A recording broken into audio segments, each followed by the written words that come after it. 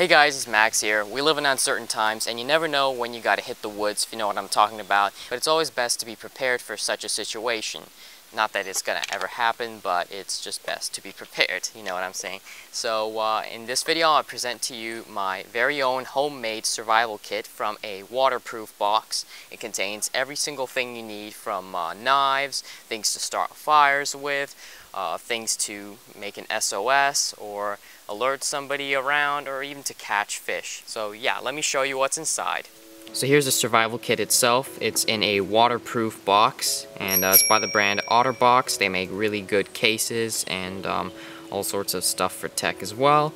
And opening it up has these two little latches at the side which opens up like that and in here we have all the stuff that I've been preparing for the last two days. At the top we have some aluminum foil this is for cooking food in. Let's say you got a chicken or a fish you want to wrap around in foil and put over the fire. And uh, it's also really good to deflect sunlight if you ever need to. And over here, this is a very vital thing to have in such a kit, which are charcoal pills. Yeah, they're made of charcoal and they're supposed to settle down your stomach in times when uh, you've eaten something really uh, poisonous or basically uh, gotten a tummy ache maybe from hunger, so these will ease the pain down. Yeah, you can just see the name here. It's written in Russian. Here we have some band-aids. Got two different sizes. Um, a lens cloth with a mirror, which is very good for SOS signals and stuff. And uh, also to look at yourself. Hi guys. and uh, yeah, set that aside. Then we have a lighter, of course. It's very good to have something to start a fire with or to melt something. A loop glass, also a very good method to start a fire and they'll never run out, such as a lighter would. When you run out of lighter fluid, you gotta figure out how to start a fire.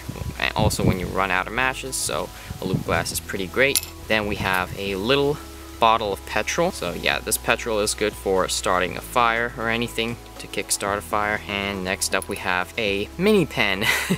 this is a small pen, basically a shortened down pen It's good for making notes and you know taking notes or sending out messages and stuff. Yeah, it's good to have a pen. Then here we have some uh, fish hooks and we even got some spare fishing hooks and a bit of line in there. Speaking of fishing line, we have even more of this nylon fishing line. It's a quarter of a millimeter line, very strong stuff. And then we have a D battery here. This alkaline battery is very good for starting fires and stuff. You can start a fire with aluminum foil by short circuiting it. And then we have a miniature LED flashlight. You can see it turns on. And it's a very bright flashlight at nighttime. Then we have something to cut wood with, which is a very uh, unique method by using some steel wire to saw wood. It has these two little rings that you put your fingers in, just like that. We even have a bundle of matches. Most of them, the brown-headed matches, are just regular ones, so if you get them wet, they'll probably be destroyed. And we also have some pink-headed matches, which are waterproof. We also have a little uh, striker on the side actually a couple of strikers and everything's bundled in rubber bands. And then we also have some paracord which is some really strong stuff. It's a strong rope and good for tying things together. A survival whistle which is a must-have item in every survival kit. And it also has a little compartment on the inside which some of you probably already know about these kind of survival whistles. You can store some really small stuff.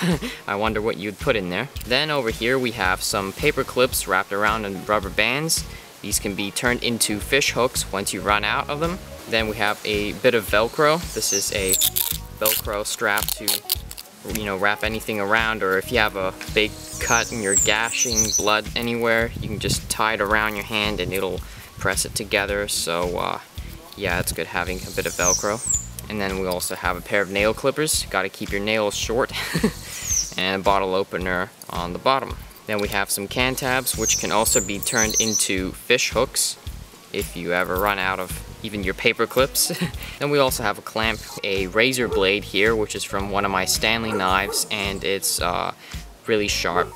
Then at the very bottom, I got a very flat pocket knife, which flips out like so. And we also have a needle and a magnet. Now what might that be for? It's a compass. So you rub a needle against a ferrite magnet, then you put it on a leaf that's floating on water, and then directs its uh, directs the pointy tip northward. so you can find out where you are if, in case you don't have a compass. Then over here to the left we have a mineral substance called potassium permanganate which can purify your water so you put three or four crystals to one liter of water and it purifies it so that you can drink the water and it's a very very important thing to have in a survival kit like this. We also have some thread and a couple of needles for, to sew any of your clothes that start to rip. Very good to have that.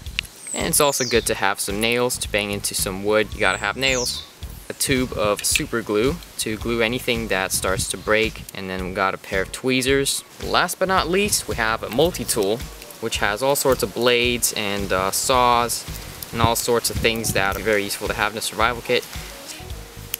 A bottle opener, a pair of scissors, a pair of pliers, that's a good thing to have, a screwdriver, there, whatever this is. We got this uh, loop glass right here, a saw, very dull saw, and it has a little measuring stick in inches. This is one of my favorites. It's a wood saw. It's very good at cutting wood. A file. This is some sort of pointy tool. Don't know what that is. Corkscrew.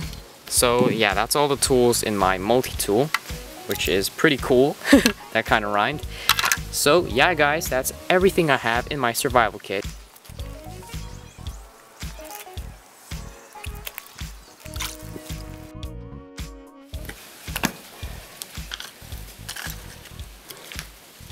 That's all for this time, guys. I really hope you enjoyed my DIY survival kit. Has pretty much every single thing you need out there in order to survive. Of course, doesn't include the larger kind of tools like maybe slingshots, backpacks, uh, saws, and all sorts of other big stuff and tents, you know, that you need to survive out there. But it has the essentials that you're going to need out there, so uh, yeah.